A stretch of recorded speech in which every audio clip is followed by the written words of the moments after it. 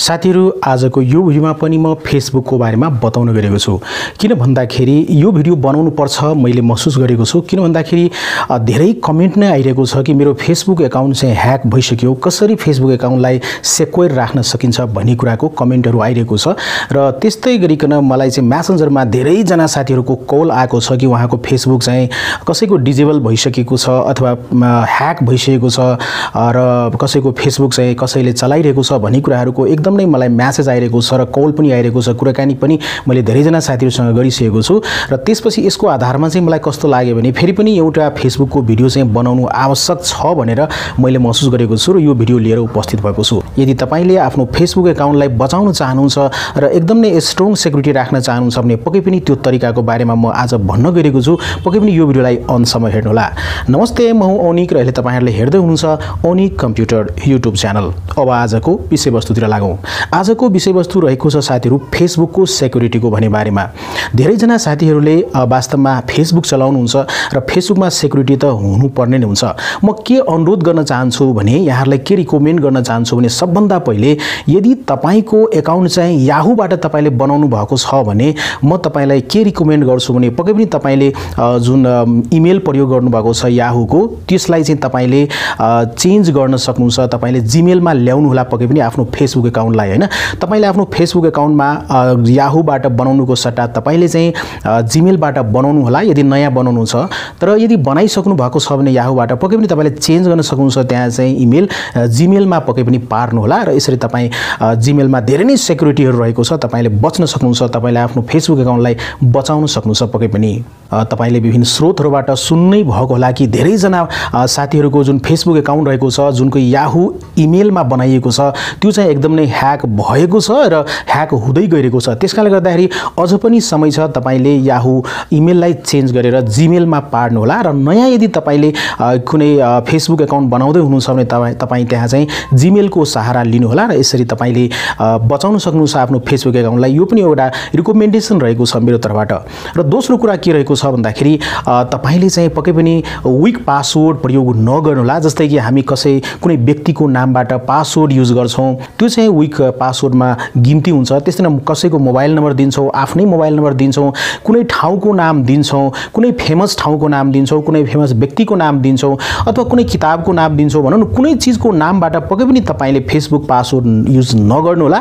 त्यो एकदम नै विक पासवर्ड हो यसरी तपाईँले युज गर्नुहुन्छ भने तपाईँको फेसबुक पासवर्ड ह्याक हुनसक्छ किन भन्दाखेरि एउटा सिस्टम हुँदो रहेछ। फेसबुक ह्याकरले विभिन्न प्रकारले फेसबुक एकाउन्टलाई ह्याक गर्ने प्रयास गर्छ।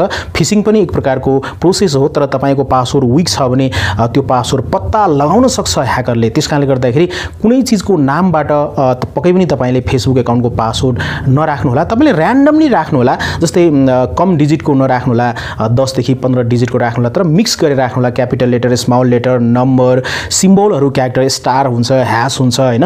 डलरको सिम्बल हुन्छ यी सबैलाई मिक्स गरेर तपाईँले राख्नुहोला। पासवर्ड पक्कै पनि त्यो स्ट्रङ पासवर्ड हुन्छ। र यसरी स्ट्रङ पासवर्ड राख्नु भयो भने पक्कै पनि तपाईँको फेसबुक एकाउन्टलाई ह्याक गर्न ह्याकरलाई गाह्रो परिरहेको हुन्छ। साथीहरू यसको बारेमा सम्पूर्ण कुरा जान्नको लागि सम्पूर्ण प्रोसेस जान्नको लागि पक्कै पनि यो भिडियोलाई बिचमा स्किप नगर्नुहोला पुरै भिडियो हेर्नुहोला र तपाईँले यसको बारेमा कम्प्लिटली जान्न सक्नुहुन्छ। जस्तै कि यसबारेमा अरू साथीहरूको के धेरै कमेन्ट रहेको छ भने फेसबुक एकाउन्ट ह्याक हुँदो रहेछ होइन? र के के गर्नुपर्छ त्यो त मैले भनिसकेँ र अर्को कुरा के रहेको छ भन्दाखेरि र यदि तपाईँले आफ्नो फेसबुक एकाउन्टलाई स्ट्रङ राख्न चाहनुहुन्छ भने सेक्युरिटीमा त्यसको लागि तपाईँले टु स्टेप भेरिफिकेसन तपाईँले एउटा अप्सन पाउन सक्नुहुन्छ आफ्नो फेसबुक एकाउन्टमा। पक्कै पनि तपाईँले त्यो फिचर चाहिँ युज गर्नुहोला। र त्यो फिचर युज गर्नुहुन्छ भने कुनै पनि व्यक्तिले तपाईँको फेसबुक एकाउन्टलाई ह्याक गर्न सक्दैन।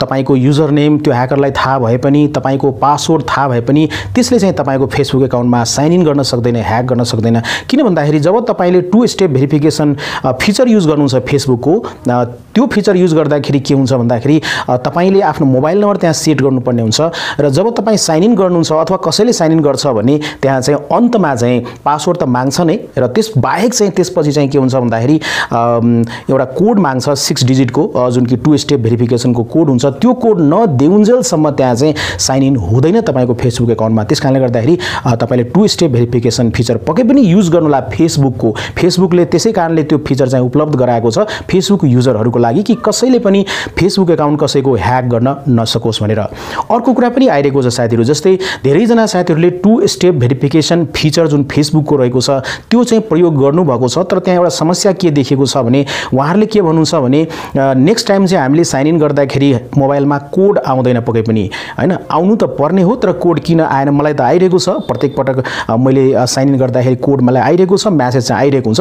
अब तपाईँले जुन मोबाइलमा two step verification code use गर्नुभएको छ त्यो मोबाइलमा त चाहिँदैन पक्कै पनि किनभने त्यहाँ अलरेडी साइन इन भइसकेको हुन्छ। तर लग आउट गर्नुहुन्छ भने त्यो फेरि साइन इन गर्नको लागि लग इन गर्नको लागि तपाईँलाई त्यो कोडको आवश्यकता पर्नेछ पक्कै पनि। त्यस कारणले त्यो कोडलाई पहिलोपल्ट जुन कोड पाउनुहुन्छ two step verification feature use गर्दा फेसबुकको त्यो कोड चाहिँ जतनले राख्नुपर्ने हुन्छ। अब कुरा के आउँछ भने तपाईँले आफ्नो मोबाइलमा two step verification code use गरिसक्नु भएको छ तर अर्को मोबाइलमा र अर्को ल्यापटपमा अर्को कम्प्युटरमा तपाईँले साइन इन गर्ने प्रयास गर्नु छ भने त्यति बेला चाहिँ तपाईँले पासवर्ड दिएर मात्र हुँदैन। सिक्स डिजिटको कोड पनि चाहिन्छ। तपाईँले सेभ गर्नुभएको कोड युज गर्दा पनि हुन्छ। तर तपाईँले त्यो कोड युज गर्न चाहनुहुन्न भने तपाईँले फेसबुक एकाउन्टमै गएर कोड जेनेरेटर भनेर एउटा चाहिँ सेटिङभित्र एउटा अप्सन आउँछ। त्यो अप्सनमा गयो भने प्रत्येक मिनट तपाईँलाई नयाँ नयाँ त्यसले सिक्स डिजिटको कोड दिन्छ र त्यो कोड प्रयोग गरेर तपाईँले तपाईँको मोबाइल बाहेक है अर्को मोबाइलमा या अर्को ल्यापटपमा अर्को डेस्कटपमा तपाईँले त्यो कोड प्रयोग गरेर तपाईँले आफ्नो फेसबुक एकाउन्टमा साइन इन गर्न सक्नुहुन्छ। र अर्को कुरा के रहेको छ भने तपाईँ धेरै ठाउँमा जानुहुन्छ अरू साथीको मोबाइलमा साइन इन गर्नुहुन्छ आफ्नो फेसबुक एकाउन्टलाई यसरी नगर्नुहोला। गरे पनि लोग आउट चाहिँ गर्न नबिर्सिनु होला जस्तै कि साइबरमा जानुहुन्छ अथवा कुनै ठाउँमा जानुहुन्छ भने साइन इन गर्नुहुन्छ आफ्नो फेसबुक एकाउन्टमा अरू डिभाइसमा भने त्यहाँ लोग आउट गर्न नबिर्सिनु होला सेभ पासवर्ड पक्कै पनि नगर्नु होला यदि सेभ पासवर्ड गर्नुहुन्छ भने त्यहाँ चाहिँ तपाईँको अरूले पनि तपाईँको फेसबुक एकाउन्टमा साइन इन गर्न सक्छ। यसरी तपाईँको एक फेसबुक एकाउन्ट चाहिँ ह्याक हुनसक्छ है। तर यदि तपाईँले टु स्टेप भेरिफिकेसन युज गर्नुभएको छ भने फेसबुकको फिचर पक्कै पनि तपाईँको फेसबुक एकाउन्ट कहिले पनि ह्याक हुन सक्दैन कसैले ह्याक पनि गर्न सक्दैन। तपाईँले जहाँ पनि साइन इन गर्नुहुन्छ त्यसपछि चाहिँ मोबाइलमा आएको म्यासेजको सिक्स डिजिटको त्यो टु स्टेप भेरिफिकेसन कोड चाहिन्छ नै साइन इन गर्नको लागि।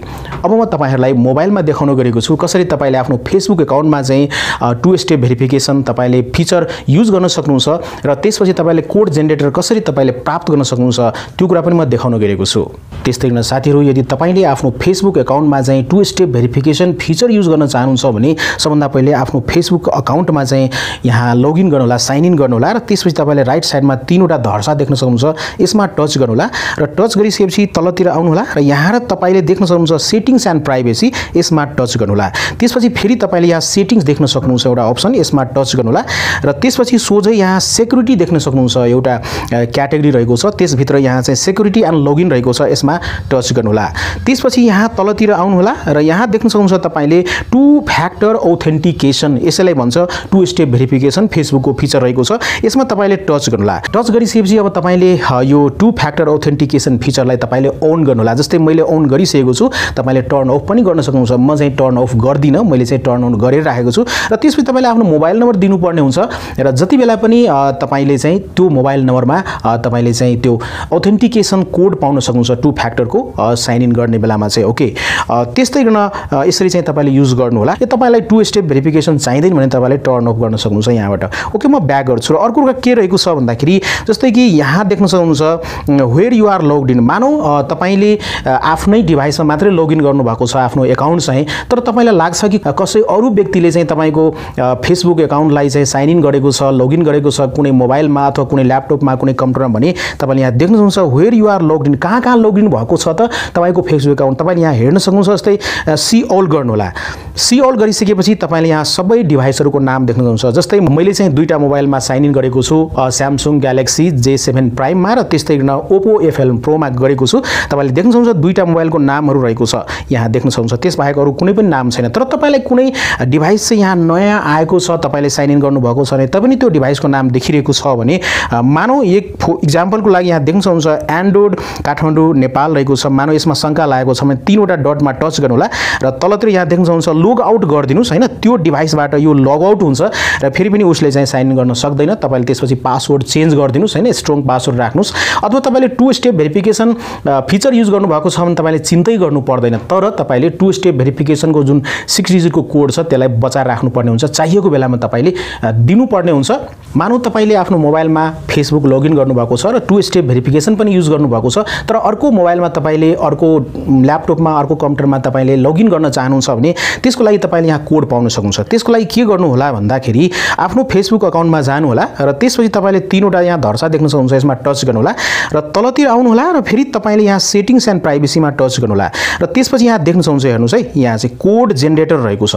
Code generator. यो कोड जेनेरेटरमा तपाईँले टच गर्नुहोला। टच गरिसकेपछि तपाईँले सिक्स डिजिटको कोड यहाँ पाउनुहुन्छ। ओके यो सिक्स डिजिटको कोड प्रत्येक मिनट चेन्ज भइरहेको हुन्छ। प्रत्येक साठी सेकेन्डपछि नयाँ कोड आइरहेको हुन्छ। तपाईँले जस्तो यो चेन्ज गर्नुहुन्छ होइन? एक मिनटभित्रमा तपाईँले यो कोड प्रयोग गरिसक्नु पर्ने हुन्छ। किन भन्दाखेरि चेन्ज भइरहेको हुन्छ। यदि तपाईँले आफ्नो मोबाइल बाहेक चाहिँ अर्कोको मोबाइलमा अरू आफ्नो मोबाइलमा अरू ल्यापटपमा अरू कम्प्युटरमा साइन इन गर्नुहुन्छ भने यो कोड नदिकन तपाईँले अरू डिभाइसमा चाहिँ साइन इन गर्नु सक्नुहुन्न। अथवा यसरी नै तपाईँको फेसबुक एकाउन्ट चाहिँ सेक्युरिटी पाउँछ स्ट्रङ सेक्युरिटी पाउँछ सेभ रहन्छ।